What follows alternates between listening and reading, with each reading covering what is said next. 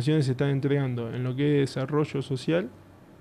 De lunes a viernes de 6.30 de la mañana a 16 horas está abierto, por lo cual el que se quiera acercar y hacer la donación ahí eh, está abierto y lo puede hacer.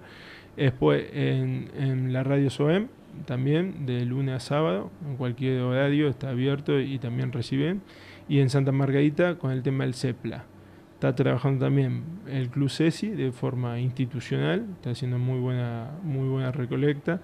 Y, y el Club de Leones. El Club de Leones también se está organizando para poder ellos también juntar, que después van, van a terminar todos eh, generando un solo espacio lo que se, lo que se junte para poder distribuir en el primer momento todo lo que es el departamental. Hoy el tema de Coronda, Maciela, Docena, bueno, estamos viendo, estamos un poco en contacto con los intendentes de cada localidad, para ver cuáles son las necesidades y en qué podemos colaborar.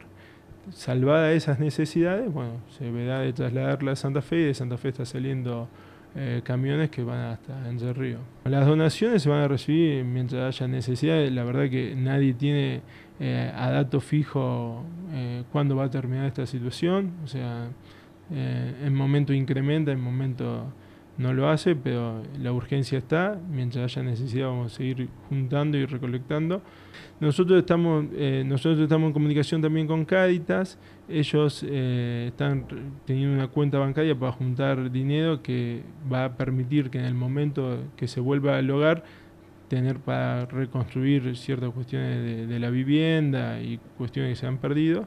Nosotros lo que estamos colaborando con ellos y pidiendo paralelamente es agua, todo lo que es alimento no percedero y producto de limpieza.